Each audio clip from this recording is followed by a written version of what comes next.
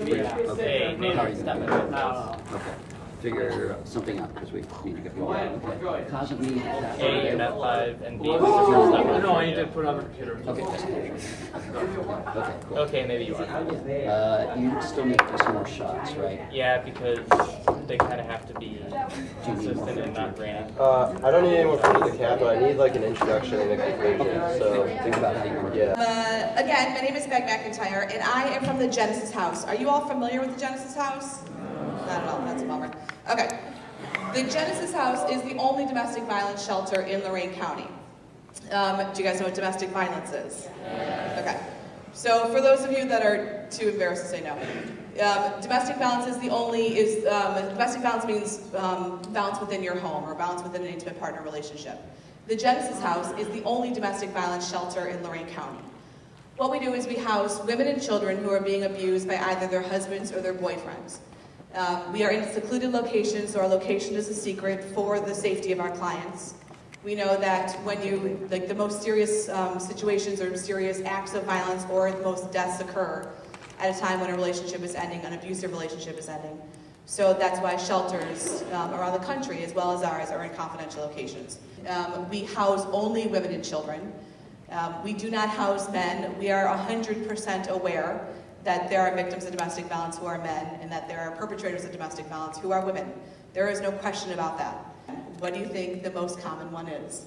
Or the most obvious one is? Why don't we house men? Because what? There is a bit of that. There is just a fear for women who are living with um, domestic violence, have a fear of men in general. So if we were to sell ourselves, which we do, as a safe and supportive environment for women, um, we can't have men there because they're afraid of men. So it wouldn't be safe and supportive. Uh, why else? Why else don't we house men when it comes down to victims of domestic violence? Who is most likely the victim of domestic violence? The percentage is much smaller, exactly. Um, uh, of reported cases of domestic violence, 95% of all reported cases of domestic violence, um, uh, the victim is the woman and the perpetrator is a man. Now, my goal is not to, because my job is to, as public educator of Lorain County, my goal is not to walk around Lorain County and put down men or say only that men are abusive uh, or slam men at all. I'm a big fan of men, I like men. Um, but, um, uh, the reality of this crime. I didn't choose this crime, it kind of chose me in this respect. Um, uh, my goal is to really give you a good indication of what is exactly going on within domestic violence. That domestic violence isn't something that you need to worry about right now. Like domestic violence is something that's for like 20, 30, 40 year olds. It's something for when you're in a super crazy serious relationship, when you're out of college, when you're living together, when you're engaged, when you're married, when you've got kids. That's actually not true. The reality of domestic violence is the average age of a domestic violence victim is between 16 and 24 years old. 16 to 24 year olds are three times more likely than any other age group to be in an abusive relationship. You know, stories of people like, I don't know, Chris Brown. Um, he's killing me.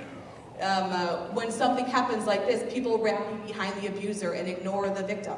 You know, what did she do? She should have gone back to him. She was asking for it. We rally around the abuser. We give him awards. um, uh, and we don't really focus on his behaviors. You know, it's unfortunate. People who love Chris Brown are probably mad at me right now, but get over it. Um, uh, because the reality of it is, is this is a man who chooses to be women. you know, he shouldn't be given airtime. He shouldn't be given applause.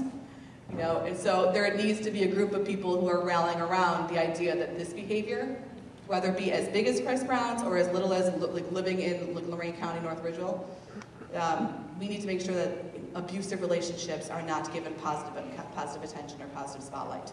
I encourage you, if one woman is beat every nine seconds and six women are killed a day, and there's 32 women in Lorain County, there's most likely somebody that you know, if not somebody that you love, who's going through this, because um, it is everywhere. I encourage you to talk to somebody about it. You know, the silence is what perpetrators love. You know, keeping somebody quiet, keeping somebody from not speaking up. So I encourage you to talk to somebody about it. We can't help you unless we know what's going on with you. Um, so I encourage you to talk to somebody. Um, I'm thankful that I've had the opportunity to come here today, and I'm so appreciative of the fact that you are all hosting the Silent Witness exhibit. Um, so from the Genesis House and me, thank you very much.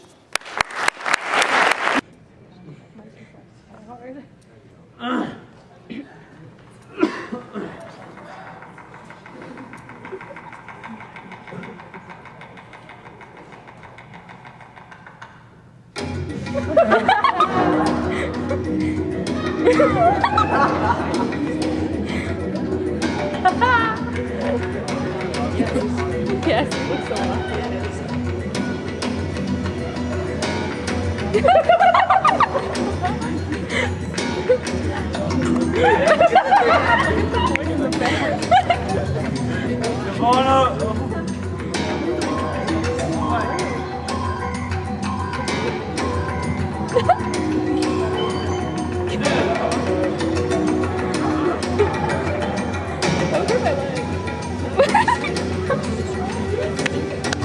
no!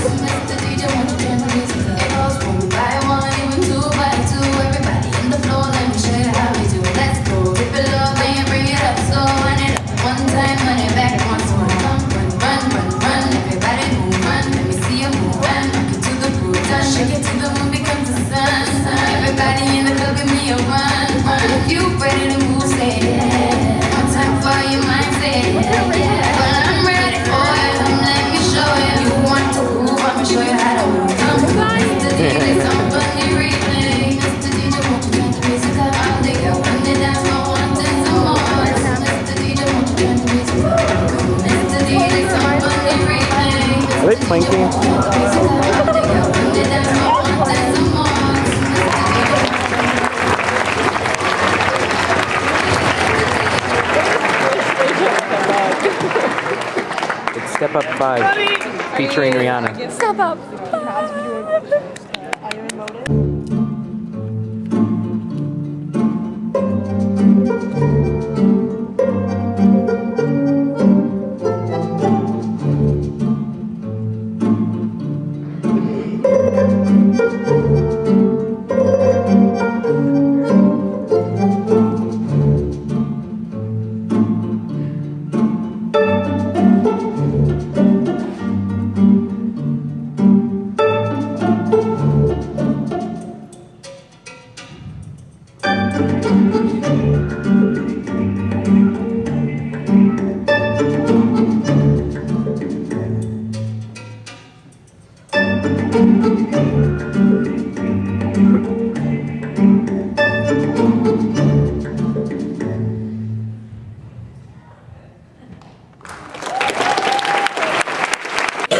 You need more supply.